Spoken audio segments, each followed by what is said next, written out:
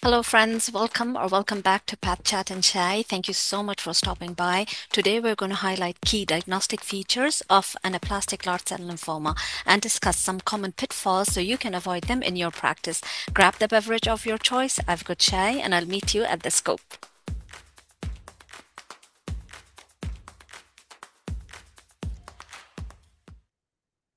Okay, friends, let's dive into the first case. So this is a 17-year-old girl who presented with uh, epigastric pain. She visited her local hospital and she was diagnosed as acute gastritis and was given H. pylori medication.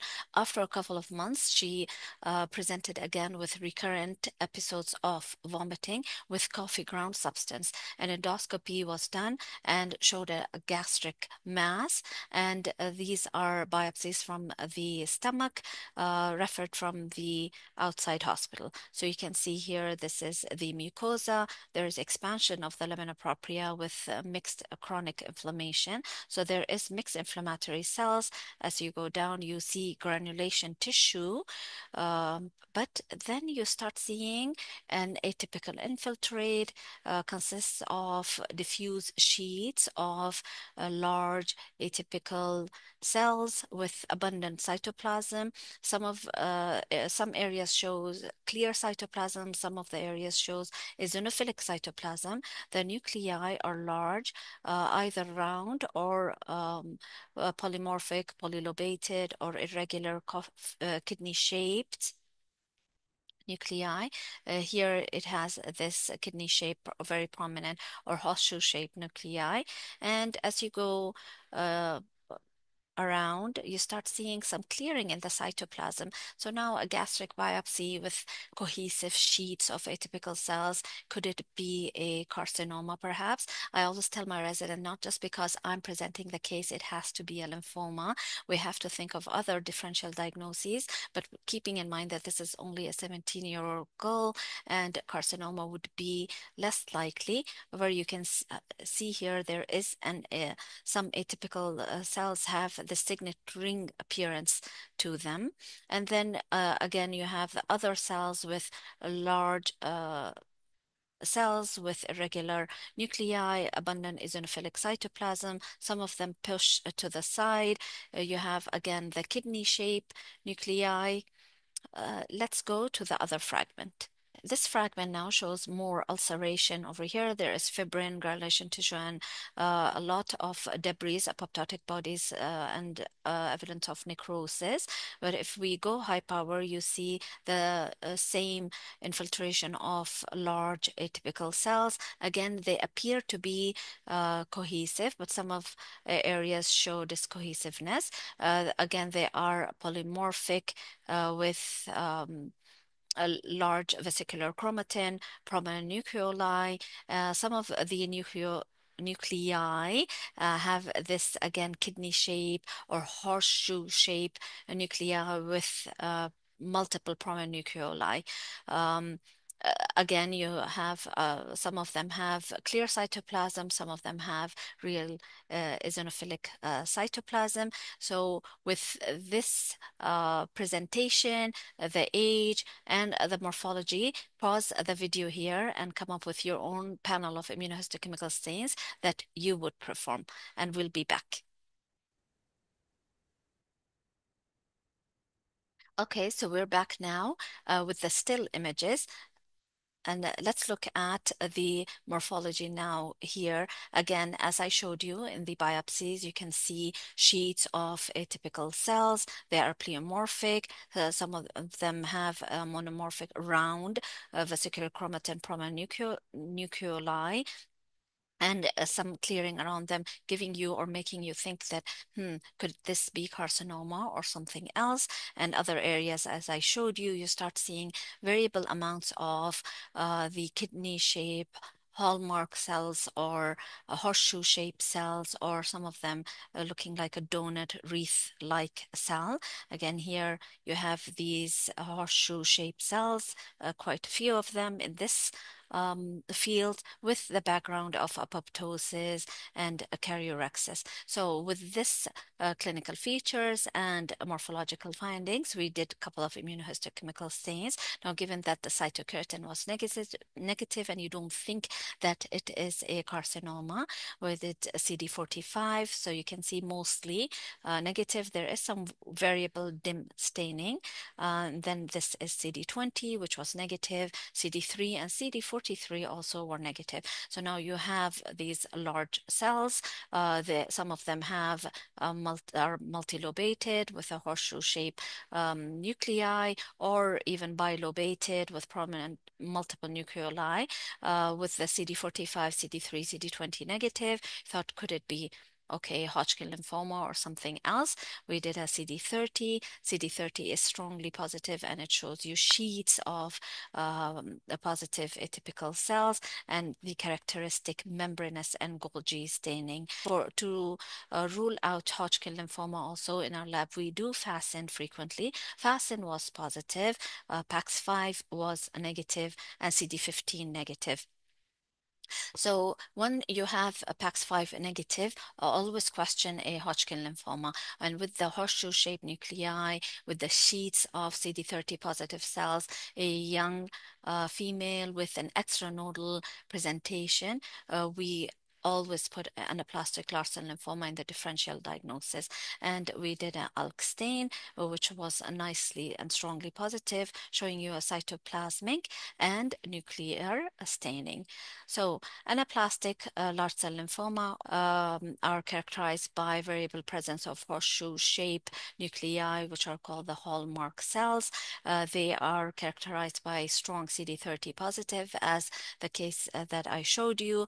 ALK positivity activity means uh, ALK rearrangement and different ALK staining pattern correlates with a different chromosomal translocation. The most common translocation involves chromosome 2-5, the NPM and ALK uh, genes. And when uh, NPM is involved, you have nuclear and cytoplasmic staining, just like our case. ALK positivity uh, carries a good prognosis with an overall survival of 80%. Let's look at another case. So this is a 47 year old male who presented with generalized lymphadenopathy, B symptoms. A needle core biopsy was performed and shows this uh, sheet of, again, uh, proliferation of atypical cells. Now, these cells show uh, a more prominent horseshoe shape nuclei over here or kidney shaped nuclei, abundant uh, cytoplasm, amphophilic to eosinophilic, and uh, some of them are there in this uh, case. You see prominent uh, donut-shaped cells. So they are wreath-like all around uh, with a central halo. Yeah. Again, we uh, the immunohistochemical stains were similar to the previous case. CD30 again shows you sheets of atypical cells with the membranous and Golgi staining. Uh, so with the morphology and the CD30 positivity, uh, this was highly suggestive for anaplastic large cell lymphoma. However, this case was ALK negative. So you can stop there and you call it ALK negative anaplastic large cell lymphoma. As you know, in the WHO, this is a, separate category. However, uh, you need to differentiate it from other peripheral T cell lymphomas with CD30 positivity. Uh, these lymphomas, the ALK negative anaplastic large cell lymphomas, uh, morphologically resemble ALK positive uh, ALCLs. So they have large pleomorphic cells with lobated vesicular nuclei and prominent nucleoli, similar to the ALK positive cells. However, they the ALK negative ALCLs are sub-categorized into uh, specific entities. Mostly 30% of them carry a rearrangement in the DUSP22 uh, gene. So, and the DUSP22 rearranged uh, ALCLs uh, characterized by neoplastic cells with a donut cell appearance. Uh, if you have uh, the means to do cytogenetics for uh, DUSP22 rearrangements, uh, go ahead and do it. We didn't have access to that, uh, but it has been reported that the DUSP22 positive cells are strongly positive for LEF1 expression. So we went ahead and stained it for LEF1, and this was strongly uh, positive. So uh, the neck, the, the second uh, point here is that you have ALK positive ALCLs and ALK negative ALCLs. Uh, ALK negative ALCLs can um, carry a worse prognosis. However, it has been published that DUSP22 positive uh, ALCLs carry a good prognosis just as the ALK positive ALCLs. So it might be worth staining for if you have cytogenetic studies or you have the fish in your lab, send it for DUSP22 rearrangement, or you can do a LEF1 stain and perhaps suggest to the clinician because because this might affect the uh, therapeutic plan or the prognostication of the patient.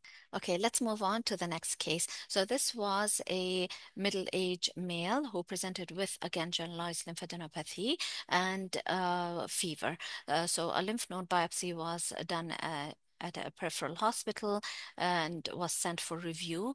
In this lymph node, you can see that the lymph node architecture is effaced. You don't have the cortex medulla lymphoid follicles, and there is just sheets of eosinophils.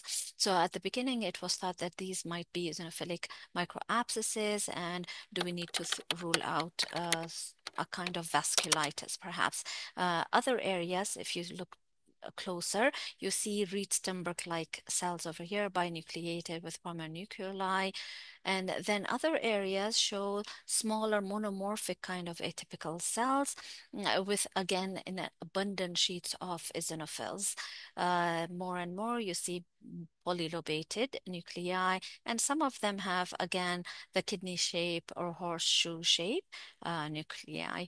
Uh, the CD45 here was positive, CD43 positive. So at the beginning, I think it was regarded as a mixed uh, reactive T cells in a background of eosinophils. But if you look closer, the large cells, which look like uh, Hodgkin-like cells, are also CD43 positive. CD3 was negative. So now you have this aberrant loss of a CD3 and CD4 was uh, positive. CD30 now is positive, and you can see the large cells over here showing you again the membranous and the Golgi staining. Um, many of them have this membranous and Golgi staining, and there were sheets of CD30 positive cells. So here again, we thought this is, is most likely an uh, anaplastic large cell lymphoma. You have to differentiate it from any other peripheral T cell lymphoma with CD30 positivity. If you have the hallmark cell cells, you have the sheets of mm, uh, kidney shaped cells or what looks like an ALCL otherwise, uh, then you call it is ALK negative anaplastic large cell lymphoma. Uh, for confirmation, we sent it for T cell receptor, which was positive. And we always uh, recommend also to do uh, cytotoxic markers when you don't have a lot of T cell marker positivity. And this one showed very focal granzyme um, positivity, and the cytotoxic markers are quite helpful. So the last case is a, a, young lady who presented with lymph node enlargement uh, and it was sent uh, to us for review. As you can see here by low power, you have a thick capsule over here and a nodular appearance. And you have these uh, cellular nodules in the middle. So definitely by low power, it gives you a Hodgkin look to it. And over here, you see uh, the thick collagen bands dividing the lymph node into nodules. A closer look show you can see large uh, cells, the horseshoe shape again cells, or you might argue these are Reed-Sternberg cells. So we had a scattered atypical Reed-Sternberg-like cells with prominent nuclei, and then again binucleated, very nice, uh, atypical um, uh, uh, Hodgkin lymphoma cell or Reed-Sternberg-like cell.